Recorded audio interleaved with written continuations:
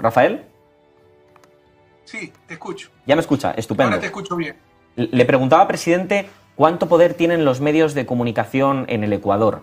Eh, antes escuchamos una conversación que, tuvo usted con la periodista Ana Pastor en España, en la que precisamente se hablaba ¿no? del papel de los medios de comunicación y de que los medios de comunicación al final obedecen a unos intereses en función de quién sea el propietario. Pero ¿qué hay de misterio en eso? Para mí es evidente, pero todo el mundo tiene terror de hablar de los medios de comunicación. Bueno, no sé si escucharon inicialmente mi saludo. Gracias por esta entrevista. Gusto en verte. Un inmenso abrazo a todos y a todos. Recuerdo muy bien esa entrevista con Anita Pastor. Como le decía, ¿no? Eh, desde que se inventó la imprenta, la voluntad, eh, la libertad de prensa y la voluntad del dueño de la imprenta. Ella, no, yo soy independiente y a los dos meses la despidieron, ¿no? Porque había llegado al poder el Partido Popular y no le convenía la línea que adoptaba Ana Pastor. En todo caso, este no es un problema para Ecuador, es un problema planetario. Que en Ecuador y en Latinoamérica sea mucho más grave y es otra cosa, porque ahí no hay límite en escrúpulos, se miente, se engaña, hay corrupción, hay descarada, obscena participación política en los medios de comunicación. Pero un problema planetario, la información es un derecho, no es una dádiva. La verdad debería ser un derecho humano y este año se cumple 75 años la Carta de Derechos Humanos de Naciones Unidas y hay que hacer una campaña para incorporar, entre otras cosas, la verdad como derecho humano y los guardianes de esa verdad son los primeros en robarlo. Y sin verdad no hay elecciones libres, un componente esencial de la democracia, es decir, nos están robando la democracia. Y en el caso de países como Ecuador y Latinoamérica, nos están robando también la oportunidad de desarrollarnos. Porque para tomar acciones colectivas correctas se necesita, adecuada información. Y eso es lo que no te dan los medios de comunicación, sino te dan manipulación. Esto es evidente. No tratemos de tapar el sol con un dedo. Hay pruebas más que suficientes, cotidianas pero nadie se eh, atreve a enfrentar este problema por el terror que le tienen a la prensa. Justo aquí, eh, presidente, estamos intentando en Canal Red hacer un tipo de televisión diferente, enfrentada precisamente a esa prensa hegemónica que durante tanto tiempo ha sido propiedad de banqueros, de fondos de inversión y de grandes empresas. Le quería preguntar, eh, presidente, ¿qué está pasando con el gobierno de Lasso? ¿Cuál es la situación actual en el Ecuador? Nos llegan noticias en España preocupantes, también precisamente de cómo ahora se ha permitido el porte de armas en el Ecuador. ¿Qué, ¿Qué está pasando en el país? ¿Qué ocurre? El Ecuador lo han destrozado. Ellos lo manifestaron. Su prioridad era que no regrese el correísmo. Así lo dijeron. Lo dijo Lazo, lo dijo Moreno. Apoyaron a un corrupto traidor incapaz como Moreno para destruir al correísmo. Se conocía la corrupción de Moreno por lo menos hace cinco años, su cuenta secreta en el Balboa Bank. Nosotros no la conocíamos. ¿no? Después se descubrió y lo encubrieron ¿no? todo este tiempo para que nos siguiera persiguiendo. ¿no? Ahora que explotó en la cara de Lazo su corrupción y su mediocridad, sacaron lo de Moreno para desviar un poco la atención. Las dos cosas son muy graves, pero de Lazo también es algo impresionante, ¿no? Corrupción por doquier desde Pandora Papers, que lo encubrieron y lo mantuvieron en el cargo. De acuerdo con la ley ecuatoriana, los funcionarios públicos no pueden tener operaciones, dinero, nada en paraísos fiscales. Lazo descaradamente lo tiene, lo han dicho más de 600 periodistas a nivel mundial en el caso Pandora Papers, debió ser restituido y acusado de perjurio, porque se jura, se hace una declaración juramental de que no se tiene operaciones en paraísos fiscales para ser candidato, etcétera, pero lo encubrieron, ¿no? Para mantenerlo en el puesto. Luego le explotó un caso gravísimo de corrupción en las aduanas, y luego un caso gravísimo de corrupción en todas las empresas públicas donde tenía a uno de sus eh, colaboradores más cercanos, 20 años funcionario de su banco, hasta del Banco Guayaquil, Hernán Luque, que pedía coimas, hay audios, hay videos, hay todo, que pedía coimas para el cuñado de Lazo, para diferentes funcionarios del gobierno de Lazo. Pero algo más grave todavía, se descubrió que había un informe policial que denunciaba influencia, interferencia en narcotráfico en el gobierno de Lazo, pero en su círculo cercano. Rubén Cherres, que era el brazo derecho de su cuñado, que ponía y sacaba ministro, y en lugar de seguir con esa investigación y el correspondiente juicio, se archivó ese informe, obligaron a archivarlo, se conoce ya que Lazo sabía de ese informe, pero lo más grave todavía, no más grave, pero agravante, para que vea la miseria humana de este pobre hombre, de hace un año nos levantaron a nosotros la narrativa de que éramos narcopolíticos. Hicieron una consulta para manipular a la población y darse un baño de legitimidad porque está por los suelos la popularidad del gobierno y la credibilidad del gobierno perdieron esa consulta, dicho sea de paso. Pero los que estamos por el no, la campaña del gobierno fue que éramos narcopolíticos, porque la primera pregunta era extraditar eh, narcotraficantes y líderes de crimen organizado, Y los que nos opusimos a la consulta porque era una trampa para manipular al pueblo ecuatoriano, el gobierno, su campaña, fue acusarnos de narcopolíticos, cuando los narcopolíticos eran ellos. Y Lazo lo sabía. Y eso es lo que hemos tenido que enfrentar.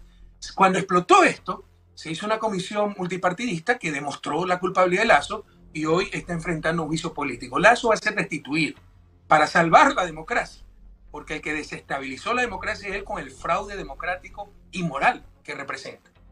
Eso le quería preguntar, Rafael. Eh, Lasso va a ser destituido, pero es cierto que no ha disuelto el Parlamento.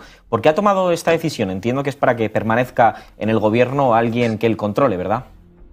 Así es, muy sencillo, porque si disuelve la Asamblea, acuerdo a nuestra Constitución, eso se llama muerte cruzada, aunque el nombre es feo, es en verdad anticipar elecciones presidenciales y legislativas. El presidente, de acuerdo con el artículo 148 de la Constitución, puede disolver la Asamblea, pero debe, llamar a elecciones legislativas y presidenciales. O la Asamblea, de acuerdo con el artículo 130, puede destituir al presidente, pero se convoca inmediatamente a elecciones presidenciales y legislativas. Por eso se dice muerte cruzada. ¿Por qué no lo hacen? Porque saben que les ganamos con las elecciones. No les interesa el país. Les interesa seguir manteniendo el poder y destruir el país, como usted lo ha dicho. ante su improvisación y su mentalidad, y me quiero extender un poquito en esto, autorizaron el porte de armas cuando toda la evidencia, evidencia demuestra que eso aumenta la violencia yo el país como el segundo más seguro de América Latina, con políticas de desarrollo humano, prohibiendo las armas, controlando porte y tenencia de armas. A esta gente le explotó el país porque todo destrozaron con tal de perseguir a Correa y la brillante eh, solución es el porte de armas. Sabiendo, la evidencia lo demuestra, la evidencia nuestra, que dejamos el país como el segundo más seguro. En el 2011 se prohibió estrictamente las armas y los homicidios, las muertes violentas por arma de fuego empezaron constante, permanentemente a decrecer hasta que dejamos el gobierno, ¿no? contradiciendo la evidencia del país y la evidencia mundial. ¿Por qué lo hacen? Es una psicopatía de nuestras élites. O sea, es, sentirse poderoso con un arma de fuego que la pueden comprar las élites. Los pobres no pueden comprar armas. Como la seguridad, no pagan impuestos, no se tiene buena policía, ellos contratan guardias privados. Al final gastan más, tienen peor seguridad, pero se sienten poderosos. E, es, ese es eh, la, piedra angular del bienestar de nuestras élites, sentirse superiores, dominar al resto, poderosos, y por eso llevan a la destrucción a todo un país. Entonces, eh, el país está realmente destrozado y la última improvisación irresponsable de un tipo como Lazo que nunca estuvo preparado para gobernar. Yo escuchaba en la introducción un banquero, uno de los, mitos que se impuso es que como es banquero, como ha sido exitoso entre comillas, el éxito se mide por los millones en el sector privado, va a ser exitoso en el sector público y no va a robar. Primero, no es lo mismo sector privado que sector público. sector público se requiere, sobre todo como jefe de Estado, un estadista. La rentabilidad social no se mide por la divisa, es multidimensional. ¿Cuál es la rentabilidad un monumento? Usted tiene que tomar decisiones sobre eso. Primera cosa que debemos tener claro.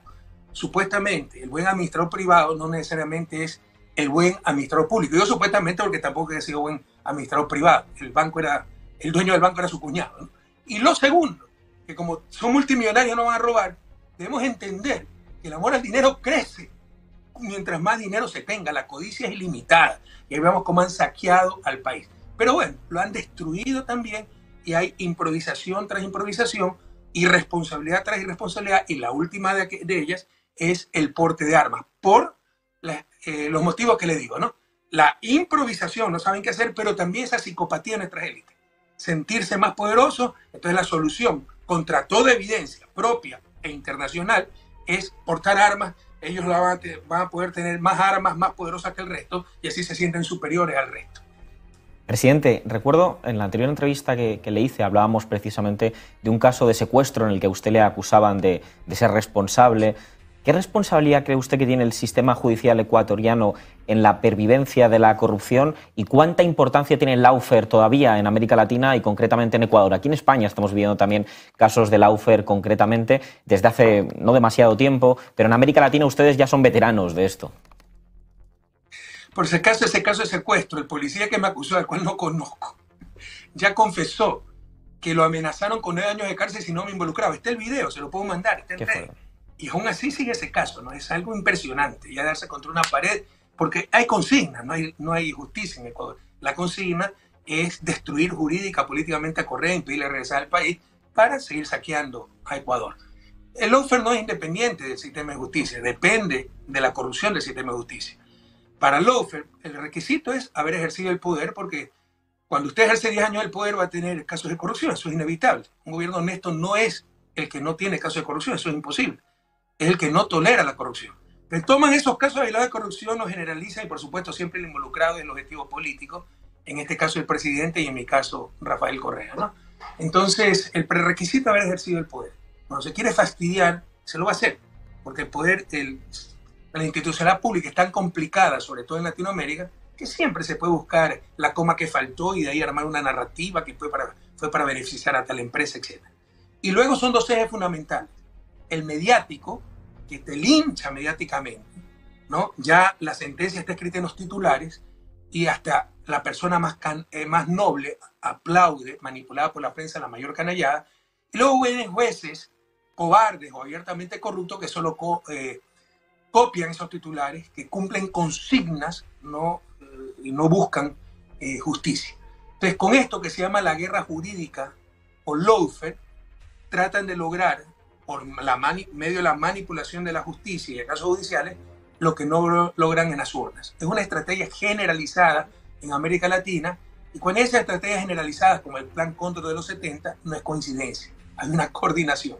Aquí también hay una coordinación y es fundamental, insisto, dos ejes, mediático para crear consenso y consentimiento y judicial, jueces temerosos o abiertamente corruptos.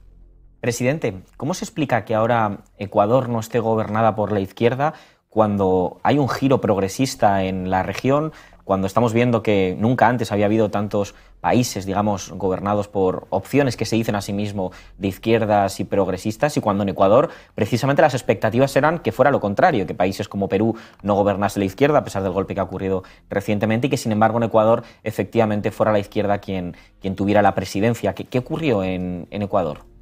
Ese es el problema, ¿no? Como Ecuador es un país marginal, es el segundo más pequeño de América Latina, de América del Sur, es de los países de desarrollo relativo más bajos. No se conoce el caso ecuatoriano. Pero entendamos que a nosotros nos robaron hasta el partido político. Hemos participado en la elección del 2021 con un partido prestado.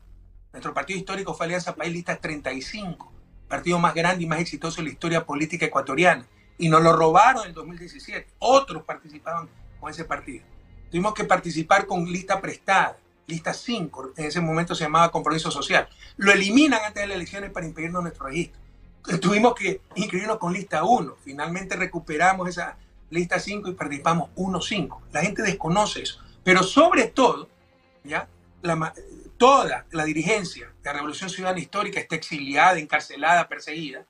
Y como yo podía regresar al país porque no tenía sentencia en firme en, en ninguna de las 51 indagaciones penales que me han iniciado, y me podía inscribir como candidato asambleísta, no me permitía inscribirme como candidato a vicepresidente, y a presidente me bloquearon también ilegalmente.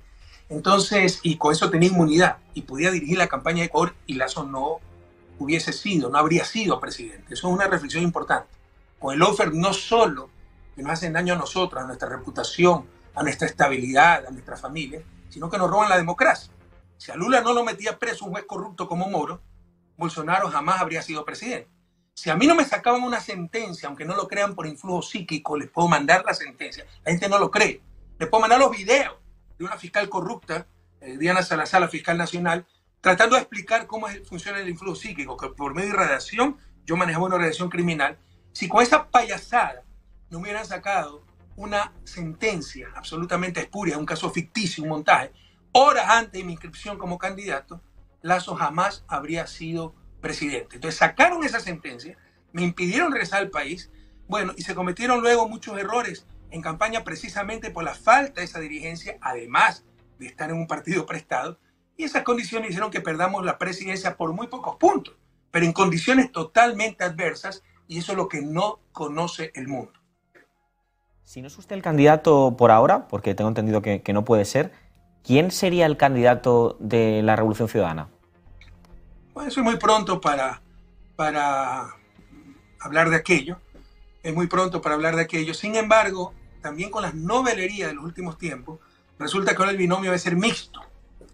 somos los primeros en impulsar la equidad de género. Nadie hizo tanto como nuestro gobierno, ningún gobierno hizo tanto como nuestro gobierno, nadie hizo tanto como quien le habla para la equidad de género en todos los niveles de la vida política y social ecuatorianas. Pero se entiende equidad de género en, en elecciones multipartidistas, pero equidad de género a nivel de alcalde, que tantos hombres, tantas mujeres, eso ya es restringir la libertad de elección. ¿no? Y ahora también se impuso equidad de género en el binomio presidencial, hombre, mujer, mujer, hombre. Para decirle lo absurdo de la medida, si yo quiero presentar dos mujeres, candidata a presidente y vicepresidenta, ambas mujeres, estoy infringiendo la ley. Entonces, así es de absurdo. Bueno, nos han limitado, nos han puesto esas condiciones y todavía pues tenemos que pensar, primero, eh, hay que ver si las elecciones serán el 2025. Todavía puede haber elecciones anticipadas y cuando se presente el caso, pues con su debido, en su debida oportunidad, anunciaremos los candidatos. Pero le insisto, el binomio va a ser mixto.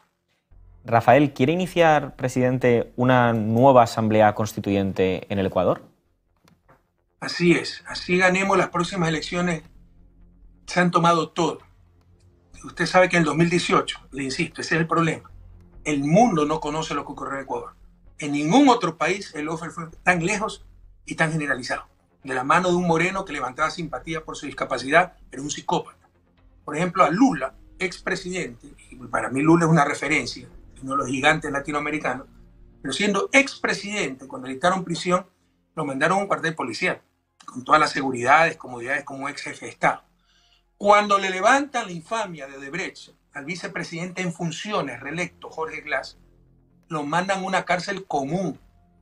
Ese ha sido el offer en Ecuador. Entonces, ha ido eh, muy lejos. En el 2018 se dio un golpe de Estado, disfrazado de consulta popular, absolutamente inconstitucional. En que habían las preguntas, si usted, quiere a su mamá para inducir a la gente a, votar sí, pero las preguntas clave eran la 2 y la 3, eran siete preguntas en total. La 2 y la 3. La 2 para impedirme ser candidato presidencial. Pero eso rige para el futuro. Lo hicieron retroactivo del 2008, 10 años antes. Los que ya han sido electos desde el 2008 dos veces no pueden volver a ser candidatos. Imagínense. O sea, una ley retroactiva para impedirme ser candidato presidencial. Y la otra pregunta era la tres, que era un verdadero golpe de Estado. Se apoderaban de un consejo clave que elige las autoridades de control en nuestro país, cerca de 150 autoridades de control, contralor, procurador, defensor público, fiscal, eh, el consejo de judicatura, superintendentes, etcétera, pero esos consejeros se elegían por concurso nacional de merecimiento. Bueno, manipularon esa consulta para poner a dedo, se llamó el Consejo Transitorio, que además se extralimitó en sus funciones y destituyó hasta la Corte Constitucional. Declararon seis meses de vacancia constitucional, eso es golpe de Estado, romper el Estado de Derecho. Y todos los autoridades que nombraron mañosamente, eh, el requisito fundamental era que odien a Correa y persigan a Correa. Entre ellas, esas autoridades, la Corte Constitucional. O sea, Corte Constitucional absolutamente espuria y herencia de lo que llamamos el trujillato, porque el presidente de este nefasto Consejo Transitorio se llamaba un chiflado Julio César Trujillo. Entonces, si ganamos las elecciones 2025 o antes presidenciales, vamos a estar totalmente cercados. Esa Corte Constitucional, desde ese espacio, deroga decretos presidenciales, deroga leyes, interpreta la Constitución y con eso legisla entonces gobernarían ellos. Tendríamos que ir a una asamblea constituyente, además de ganar las elecciones, para poder recuperar el país. Si no, se va a poder hacer muy poco, dado que se han apoderado de todo el Estado. Rafael, presidente, ¿representa Leónidas Iza algo diferente al bloque indígena en el país? No conozco a Leónidas Iza, no comparto toda su visión. Sin embargo, me parece un tipo por lo menos auténtico y honesto. Porque ese es otro engaño que sobre todo se ve en España. Como son indígenas, son buenos. Los indígenas han sido víctimas. A las víctimas hay que repararlas, hay que reparar esa injusticia. Pero eso no las hace superiores a los no victimizados. Eso no les hace referencia del bien y del mal. Eso no les da todas las respuestas, no son ejemplos del buen vivir. Es un grupo humano donde hay buenos y malos, honestos y corruptos como en todo grupo humano. Y la dirigencia indígena de Ecuador estaba totalmente corrompida totalmente infiltrada. Hay muchos dirigentes que tienen sus fundaciones, los Ponchos Dorados, financiados por el National Endowment for Democracy, que es el brazo financiero de la CIA. Y nuevamente, hay gente que quiere tapar el sol con un dedo, y como son indígenas, son buenos. cambiemos ese, ese chip. Eso no es correcto, no es verdad. Tengamos los pies bien puestos sobre la tierra si queremos ayudar a nuestros pueblos. entonces había mucha corrupción entre el movimiento indígena, mucha incoherencia, mucho oportunismo. Leonidas Isa no lo conozco, pero me da la impresión que es un tipo honesto y coherente. Y eso ya es un inmenso avance. Presidente, en España, no sé si está usted siguiendo la actualidad de la política de nuestro país, Estamos teniendo algunos problemas con respecto a la unidad de la izquierda. Hay ciertas dificultades para ver en qué se va a consolidar una candidatura unitaria entre distintas fuerzas políticas. Ustedes cuando, cuando llegaron a la presidencia, cuando formaron, digamos, lo que fue el proceso de la revolución ciudadana, hicieron que una izquierda que estaba en torno al 5%, si no me equivoco con la cifra del país, pasase a ser fuerza de gobierno. Le quiero preguntar, eh, presidente, cómo lo lograron y cómo lograr en nuestro país la unidad de las izquierdas para que no haya más división aún y se pueda revalidar el gobierno de coalición progresista que tenemos hoy en España. En política no toda unión suma. ¿ya? Y ahí hay una imprecisión. Esa izquierda no era ni el 3%. Yo, si volviera a repetir la experiencia, prescindiría esa izquierda. Podemos ganar sin esa izquierda. Ganamos a pesar de cierta izquierda. Y luego, a los pocos meses de gobierno, esa izquierda fue la mejor aliada de la derecha. En nombre de la izquierda no hay nada más eh, letal que el supuesto fuego amigo, pero nunca ha sido fuego amigo, no nos engañamos. Cierta izquierda es el partido más conservador, está ahí para que no cambie nada, es totalmente funcional al status quo. Se venden por un plato de lentejas, les interesa sus espacios de poder. Vean lo que está pasando en este momento de Ecuador, Pachacuti, movimiento de izquierda. Mire lo que están haciendo con la ley de educación superior ¿no? Algo académico, deberían tratar los profesionales, gente que venga a la academia, pero están proponiendo por espacios de poder para tener sus universidades propias, universidades indígenas, hasta universidades comunitarias. ¿Qué será eso? ¿Ya? Entonces destrozan todo por sus espacios de poder. No nos engañemos. En política no toda unión suma y tengan cuidado, que hay cierta izquierda que es perniciosa, se puede llamar izquierda, pero son los partidos más conservadores y son los mejores aliados de la derecha y guardianes del status quo. Presidente, voy a abrir mesa aquí en plató para quien quiera formularle una pregunta. Laura creo que quería hacer un comentario. Le pregunta a Laura Arroyo, puede hacerlo mirando a la cámara. Eh, gracias, Sergio. Y bueno, que primero que nada saludar al expresidente Rafael Correa. Yo soy una peruana residente en Madrid, con lo cual me interesa mucho preguntar desde el aspecto regional. Como sabe usted, nosotros como vecinos del sur estamos viviendo ahora mismo ya una dictadura de facto a raíz del golpe de Estado que se cometió contra Pedro Castillo en diciembre. Y mi pregunta, precisamente porque vemos cómo la extrema derecha y en realidad las oligarquías están arremetiendo contra nuestras democracias, es qué tipo de alianza regional necesitamos ahora mismo nosotros, nosotras, para preservar esa democracia. ¿Cómo lo ve usted? A la derecha no le importa la democracia. Bueno, eh, Perú, un inmenso abrazo al pueblo peruano, mi solidaridad. Es muy triste lo que está ocurriendo, más de 70 muertos. Creo que el presidente Castillo cometió gravísimos errores, no estaba preparado para gobernar y es parte de esa izquierda a la que me refería. O sea, se meten de aventureros, ganan y no saben qué hacer. A la semana ya recula, toma posiciones de derecha, una política exterior impresionantemente conservadora, alineada a los intereses de Estados Unidos, no de la región con cancilleres poco menos que fascistas. Sin embargo, era el presidente legítimo. Ya creo que cometió errores, pero fue, eh, eh, no fue correctamente destituido. Además, una cosa es que se destituye un presidente argumentando que cruzó cierta línea roja, otra cosa es que se lo quiere hundir con juicios penales, el UFE, ¿no? Tampoco eso es correcto. Y por supuesto la represión que está aplicando, la brutal represión que está aplicando el gobierno peruano contra su propia población. Quisiera tener un poquito más en esto, porque sinceramente el problema, con todo respeto, de Perú es, su, eh, su, inconsistencia institucional. Es un Frankenstein institucional. Perú tiene figuras parlamentarias muy fuertes, pero no es un sistema parlamentario. Y tiene eh, un presidencialismo extremadamente débil. El presidente eh, tiene que pedir aprobación para sus ministros, pedir permiso para salir del país. Es muy difícil gobernar así y esos son los remiendos y algunas veces eh, expresos a propósito que se hacen para que nadie pueda gobernar y gobierne la entelequia del mercado, gobiernen los grupos privados. Eh, yo creo que eh, Perú debe hacer una profunda reforma constitucional si quiere gobernabilidad y tener un sistema político coherente, ¿no? O presidencialismo o parlamentarismo. Yo creo que el parlamentarismo en América Latina sería un absurdo. Normalmente en nuestra república son presidencialistas, pero un presidencialismo con algo de consistencia y con algo de coherencia para que pueda tener gobernabilidad. Por supuesto que en esto ayuda realmente verdaderas instituciones regionales, que es lo que hemos carecido también. Lo que ocurrió en Bolivia, lo que ocurrió en Brasil, lo que ocurrió en Ecuador, la persecución a los correístas, la destrucción del país, no habría podido suceder si hubiésemos tenido un verdadero sistema interamericano. La OEA siempre ha sido el Ministerio de las Colonias de Estados Unidos, siempre ha sido en función de los intereses de Estados Unidos, pero con Almagro ha roto récord, ¿no? Y Almagro no solo que ha permitido, ha sido cómplice abierto de la destrucción de nuestras democracias, de la destrucción del Estado de Derecho, de la institucionalidad en la región. Y esto que nos lleva entonces a la reflexión de que requerimos un sistema, ya no interamericano, no nos engañemos, al norte del río Bravo hay otros intereses ajenos a, la región del sur del río Bravo, a Latinoamérica. Tenemos que tener un sistema latinoamericano, ¿no? De derechos humanos, de, conservación, eh, de preservación, de cuidado de la democracia, y, eh, pero propio.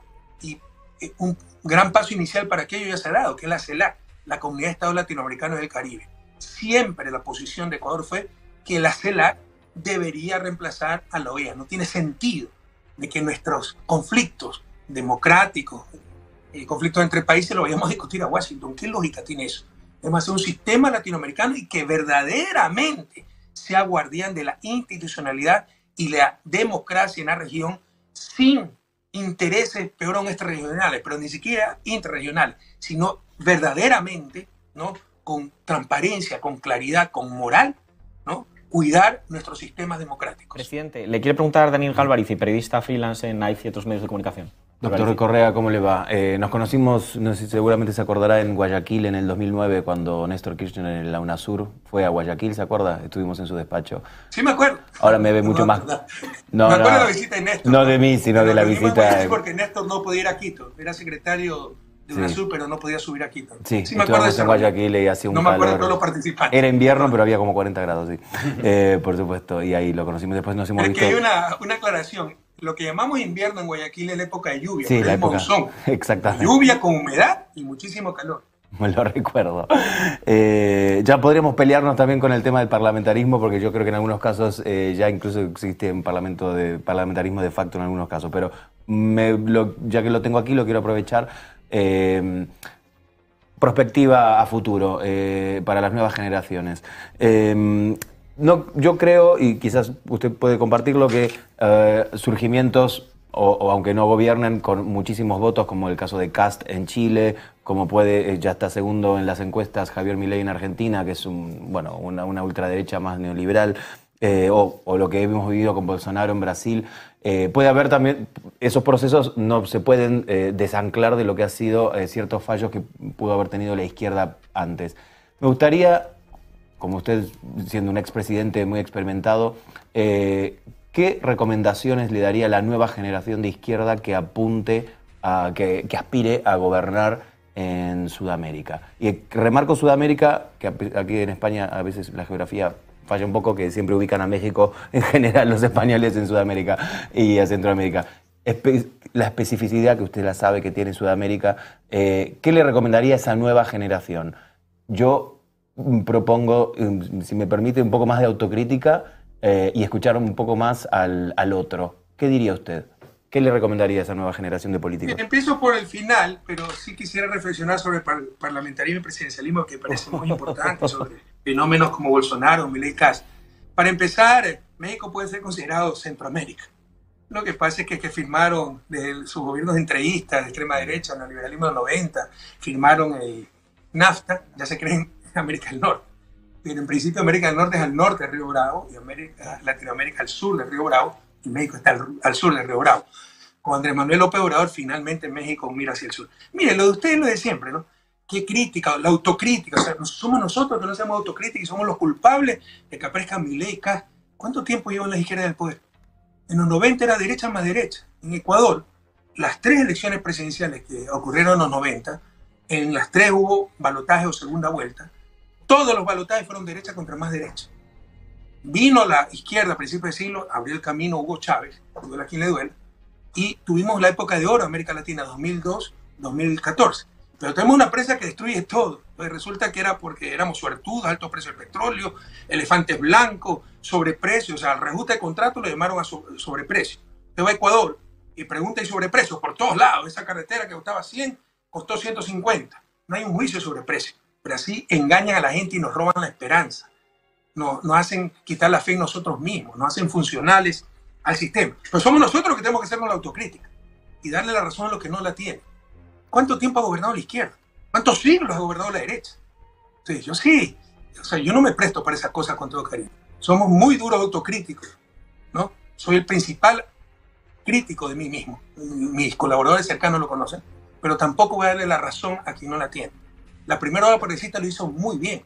¿ya? Viene esta gente, destruye todo, con sus medios de comunicación le echa la culpa a nuestros gobiernos y hay gente que se lo cree. No por no mucho tiempo, por eso la segunda ola progresista, porque pueden engañar por un momento, unos cuantos años a la gente diciéndole cuando estaban bien están mal y ahora que están requete mal están bien, pero ya tienen cómo comparar. Pero sí, engañan, manipulan.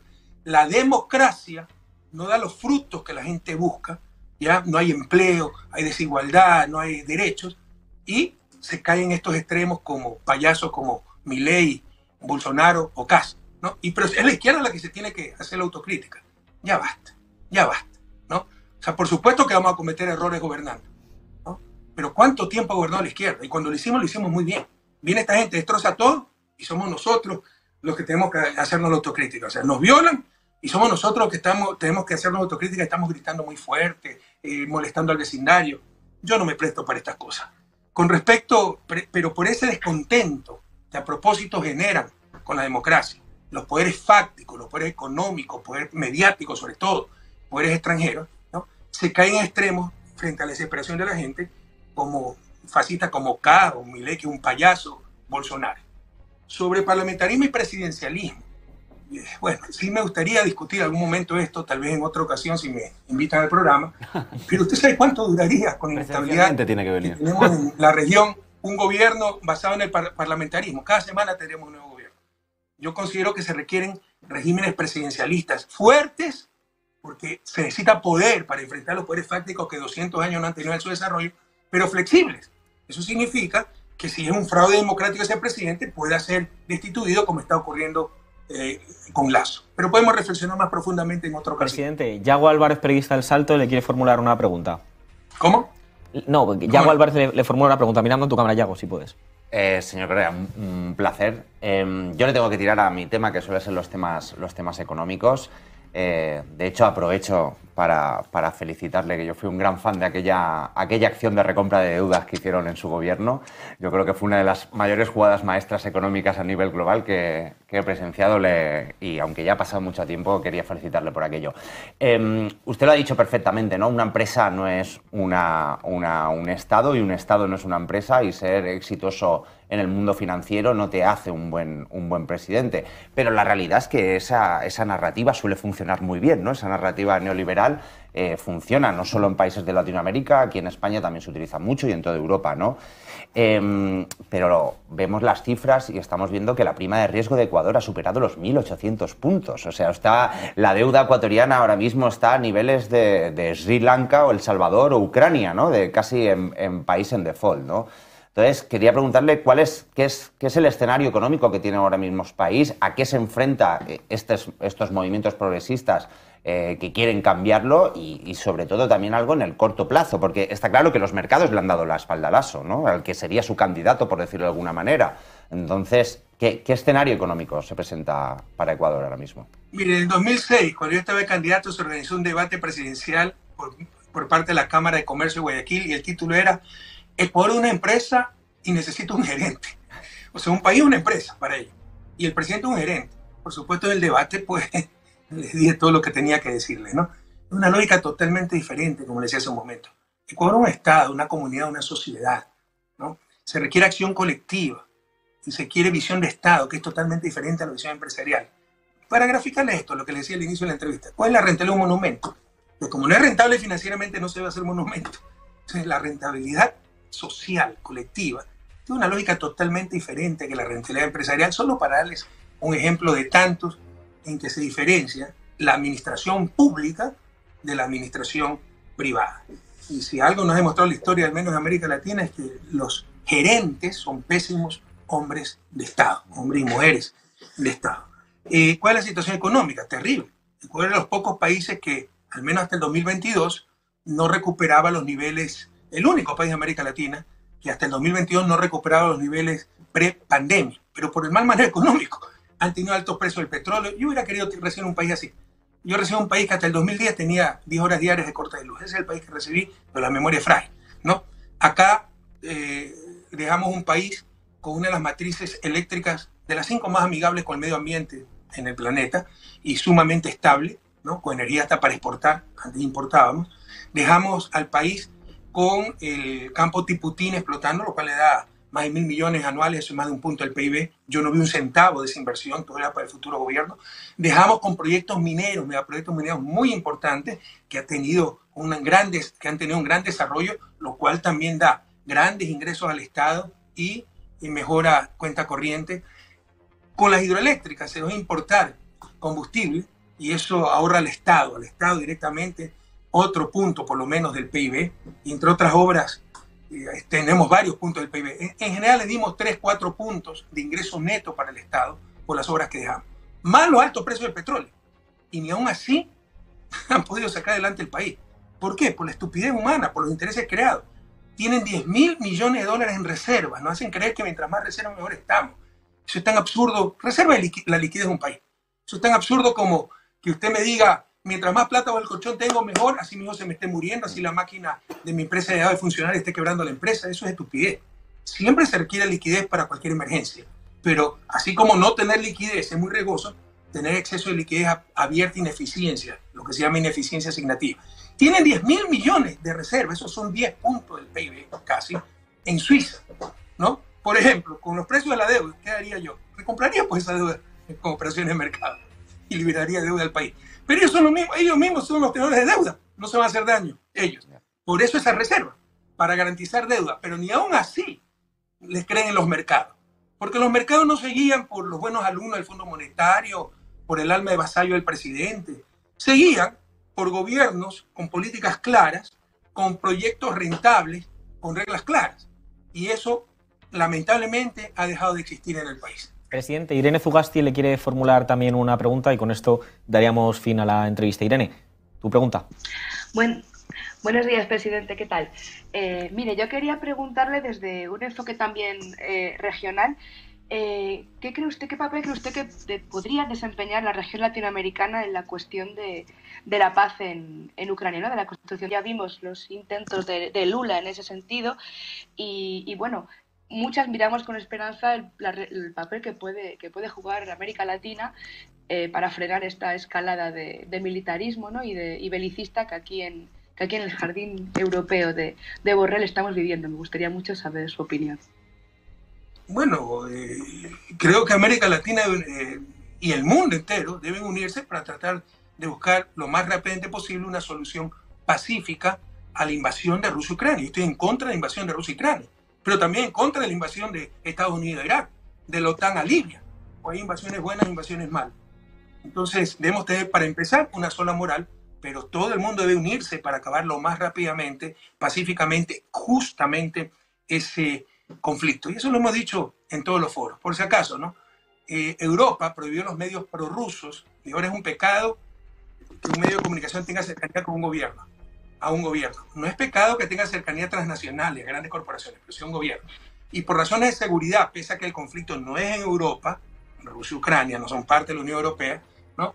prohibió los medios prorrusos, corríjame si me equivoco, por razones de seguridad. Entonces les pregunto, cuando nosotros demostremos medios de comunicación latinoamericanos, ecuatorianos, financiados por la CIA, que tratan de desestabilizar nuestro gobierno, ¿también podemos prohibirlos? ¿O nos van a acusar de atentado a la libertad de prensa?